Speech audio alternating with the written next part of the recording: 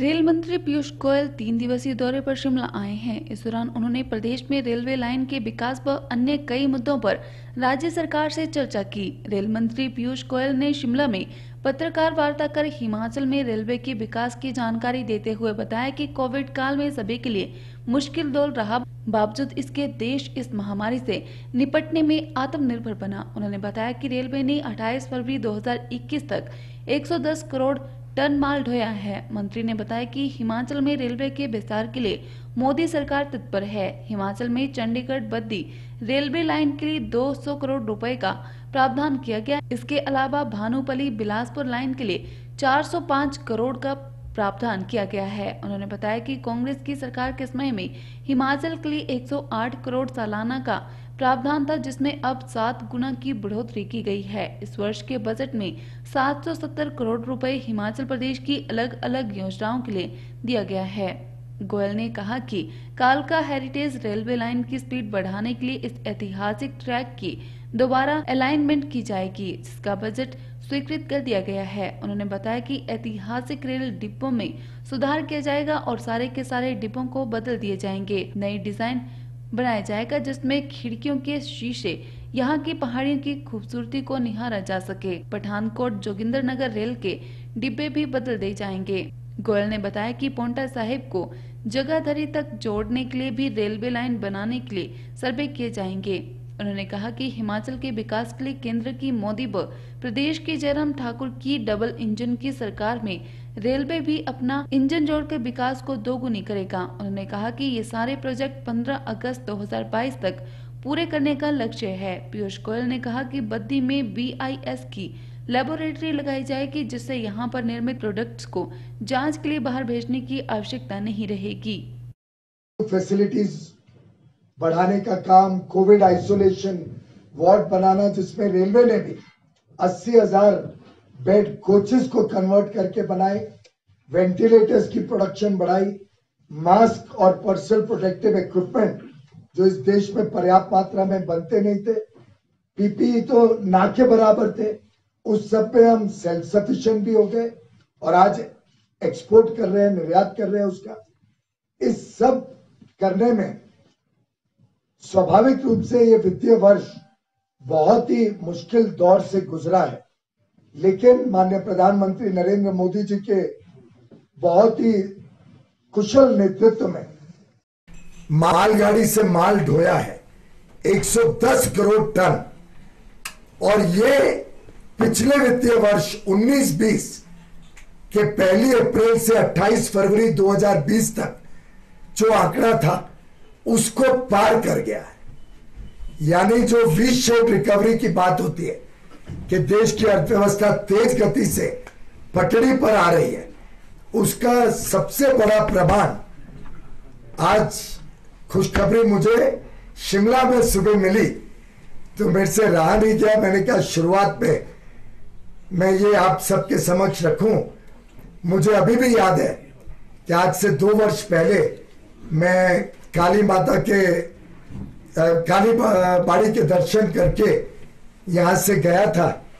और उसके बाद चुनाव हुआ। फिर एक बार आप सबने चारों सांसद चुन के भारतीय जनता पार्टी के भेजे। केंद्र में और बड़ी बहुमत से मोदी जी की सरकार बनी। और उसके बाद लगातार जो विकास के लिए काम चल रहे हैं, उसका ये एक बहुत सुखद सूचना मुझे जो आज मिली शिमला में, मुझे लगा आप सबके समक्ष रखूँ। पिछले वर्ष भी 28 फरवरी 2020 तक 110 करोड़ टन रेल व्यवस्था ने मालगाड़ी के माध्यम से कैरी की थी और इस वर्ष कोविड महामारी के बावजूद लॉकडाउन में जो कमी हुई थी, लगभग सात करोड़ टन कम थे पहले तीन चार महीने में। उसको भी पूरा मेकअप कर दिए। और आज हम ऐसी स्थिति में कि पिछले वर्ष तक पहुँच गए। मुझे लगता है इकतीस मार्च आते आते पिछले वर्ष से ज़्यादा लोडिंग भारतीय रेल कर रही, करने जा रही है। और इसी को हिमाचल के परिप्रेक्ष्य में देखें तो अब एक चंडीगढ़ बद्दी जो लाइन है, उसके लिए इस वर्ष के बजट में 200 करोड़ रुपए का आवंटन किया गया है और मेरी मुख्यमंत्री जी से चर्चा बहुत सार्थक रूप से तीनों दिन चली है। परसों हम बैठे थे, कल बैठे और आज सुबह बैठे। तीन दौर में मैंने राज्य सरकार के साथ अलग अलग विषयों पे चर्चा की और मालगाड़ी बद्दी तक आए। उसको सुनिश्चित करने के लिए चंडीगढ़ बद्दी की लाइन बहुत आवश्यक थी। हम दोनों ने तय किया इसको और बल देंगे और आगे 200 करोड़ कम पड़े। तो मैं उनको विश्वास देके जा रहा हूँ कि मैं और सप्लीमेंट्री बजट में और आवंटन करूँगा। लेकिन इस लाइन को तेज गति से हम आगे बढ़ाएँगे। इसी के साथ साथ एक एक और लाइन पे काम तेज गति से चल रहा है। उसके लिए भी 405 करोड़ रुपए का आवंटन इस बजट में किया गया है। वैसे ओवरऑल हिमाचल से पे आने वाली व्यवस्थाएँ या हिमाचल में बनने वाली रेल की व्यवस्थाओं के लिए कैसे प्रधानमंत्री नरेंद्र मोदी जी की सरकार संकल्पित है, इसके मैं कुछ आंकड़ों से आपको जानकारी देने, देना चाहता हूँ। 2009 से 14 के बीच जब केंद्र में कांग्रेस की यूपीए की सरकार थी तब औसतम हर वर्ष 108 करोड़ रुपए निवेश होता था इंफ्रास्ट्रक्चर या सेफ्टी वर्क्स में, हिमाचल या हिमाचल से जुड़ी परियोजनाओं में। यानी 9 से 14 के बीच पाँच वर्ष में मात्र 540 करोड़ रुपए। पूरे पाँचों वर्ष को मिलाए तो मात्र 540 करोड़ रुपए निवेश हुआ था। 2014 से 19 के बीच जब माननीय प्रधानमंत्री नरेंद्र मोदी जी की सरकार इस प्रदेश रेलवे बजट पेश करती थी तो हिमाचल प्रदेश के लिए इसको बढ़ा के 2014 के 108 करोड़ प्रतिवर्ष को बढ़ा के एवरेज 280 करोड़ रुपए कर दिया गया 2014 से 19 के बीच।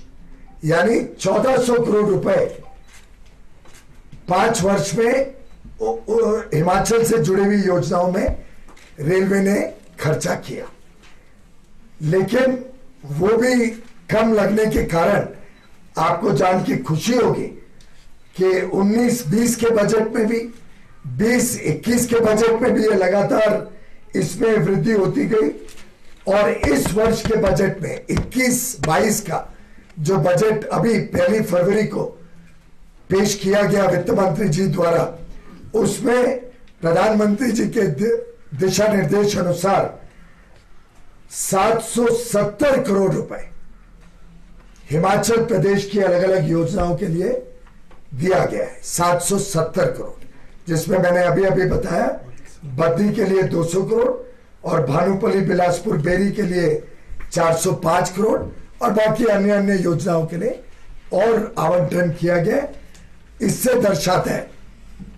किस प्रकार से ये सरकार हिमाचल प्रदेश के लिए प्रतिबद्ध है, ये लगभग कितना? सात गुना हो गया। 108 से बढ़ा के 770 crore. Seven times budget Himachal Pradesh के लिए आवंटित किया गया है।